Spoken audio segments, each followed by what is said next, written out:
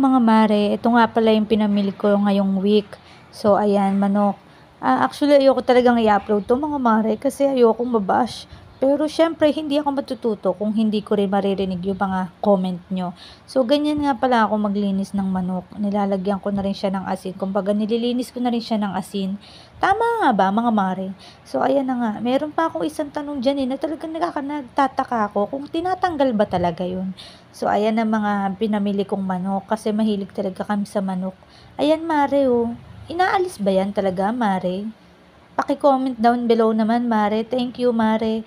So, ayan na nga. Ganyan ako maglinis. Tinatanggal ko yan kasi sabi ng partner ko, ayaw niya na may mga ah, madulas-dulas. Kaya talagang linis na linis ako dyan, Mare. Hindi pwedeng hindi. Eh, kasi nagluluto din ng partner ko eh, at chinecheck niya yan. Alam mo yon kasi ganyan siya magluto. Sensitive talaga siya sa mga madudulas niya sa mga manok. Kaya gusto niya linis na linis talaga. Kaya pagpasensyahan nyo na kung nalalamog na yung manok, kakalinis ko. so, eto na nga mga mare. Ayan, sige, nilinis ko ng mabuti. Kailangan malinis talaga ng mabuti. So, ayan na nga, nilagyan ko rin siya ng asin. Nilinis ko rin siya sa asin. Ayun kasi ang alam ko ha, pero ewan ko lang, mga mare, suggest na lang din kayo or comment down below na lang kung may mali ako nagawa. Tatagkapin ko naman mga mare, wag kayong mag-alala. Ready to bash ako mga mare. Basta yung bash nyo, kapupulutan ko ng aral. Okay mga mare, noted, okay? So ayan na nga, oh, tinabi ko na. Oh. So mare, ito pa. So, syempre, konting linis-linis naman tayo mare.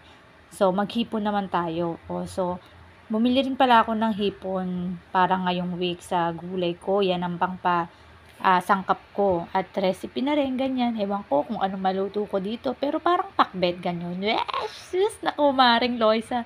Pil na pil mo magluto. Kala mo naman talagang kinakain ng partner mo, aber. So, okay na yun. At least, nagluluto ako. Nakikita niyo yung effort ko. Ababa, kala niyo naman madali magluto. Hindi kaya, no? So, okay na yan. Nilinis ko na. So, plano ko sana sa ulo ng hipon is gawing sinigang.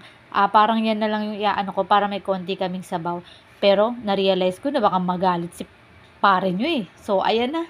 Hindi ko na nilagay. Tinapong ko na lang. Ayoko na mapagalitan, mare. So, ayan, okay na. O, linis-linis, tapon.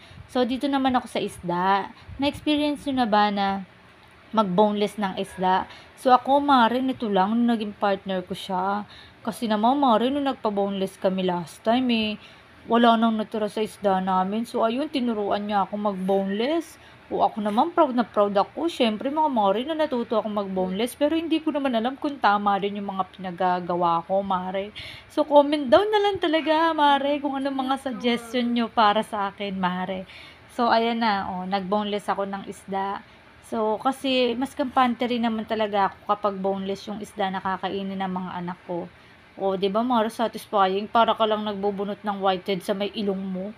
So, ganyan din kasi ako eh. Bunot lang din ang gawa ko sa whitehead sa ilong ko eh. Talagang tanggal eh.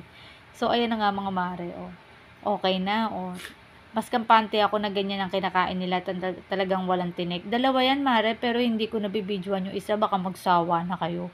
So, okay na mga mare. Thank you.